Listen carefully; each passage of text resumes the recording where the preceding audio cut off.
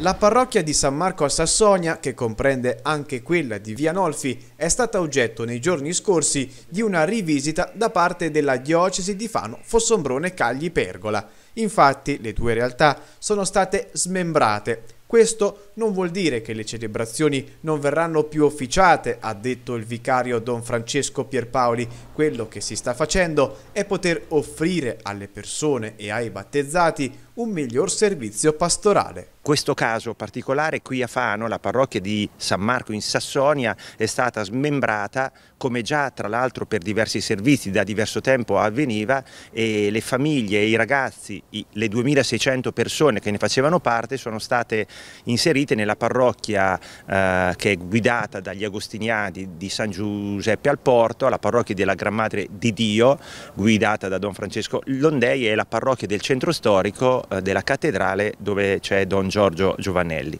Ecco, questo smembramento fa sì che il servizio continui ai fedeli, sia quello della carità sia quello della catechesi sia quello della liturgia. Nella chiesa di via Luigi Mascherpa a Sassonia le celebrazioni sono confermate la domenica alle ore 10 Mentre lungo via Nolfi la Santa Messa si svolgerà alle ore 9 tutte le domeniche e dal mese di novembre verranno introdotte anche le messe feriali. Quella zona sono le suore francescane a compiere ancora un servizio pastorale. Questo movimento sta già avvenendo da diverso tempo nella nostra diocesi. Nell'entroterra eh, parliamo già di parroci che hanno addirittura tre comuni le, nelle loro parrocchie. Parliamo già quindi di un clero che è vero, è, è sempre più anziano e siamo sempre di meno, però c'è anche una crescita forte di tutto un servizio ministeriale offerto al laicato. Ecco, su questo punto quindi io più che lanciare difficoltà australi contro le soppressioni eccetera, direi